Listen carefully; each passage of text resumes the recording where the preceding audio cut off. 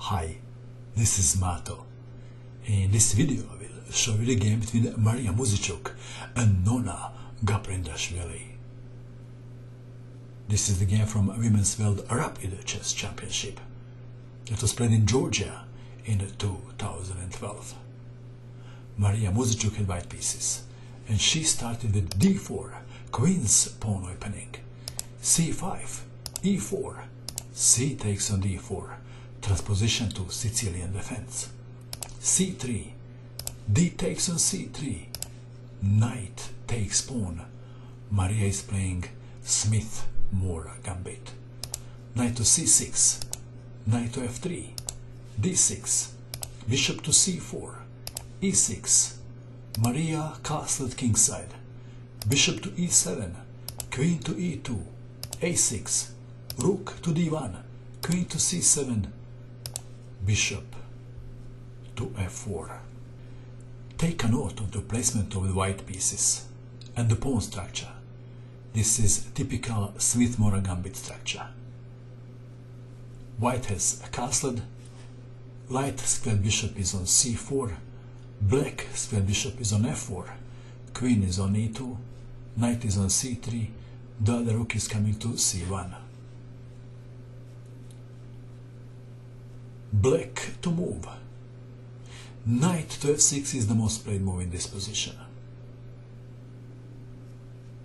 Nona played knight to e5, attacking the bishop, bishop to b3, bishop to d7, rook from a to c1. Black queen is not very comfortable. Nona played queen to b8. Note the difference in the development. Will black have time to castle? White to move. What is the best move?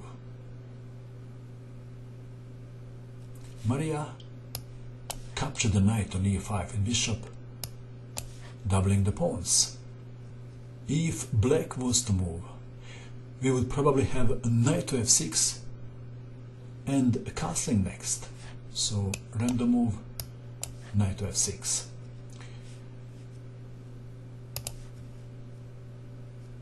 This is the position that requires special attention. Please pause the video and try to find the best move for white. Did you pause? What did you find?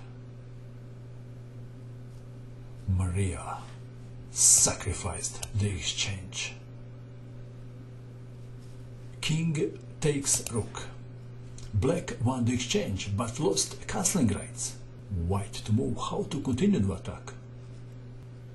Maria played bishop to a4 check. b5. What now? Please pause the video again and try to find the best move for white again. Did you pause? What did you find? Maria sacrificed the knight. Pawn takes knight. Bishop takes pawn check. If you found the exchange sacrifice, but not this knight sacrifice, you would probably lose the game as white. King to d8, rook to d1 check, king to c8, bishop to d7 check, king to b7, queen to b5 check, king to a7, queen to a5 check, king to b7. Well, white can go for a draw by playing queen to b5 and after king to a7, queen to a5. Can white win? Hmm? Please pause the video again and find the best move for white. If you find that, you'll be very happy. What is the move? Maria sacrifice the bishop. Actually, she wanted to sacrifice the bishop. Nona played king to c8.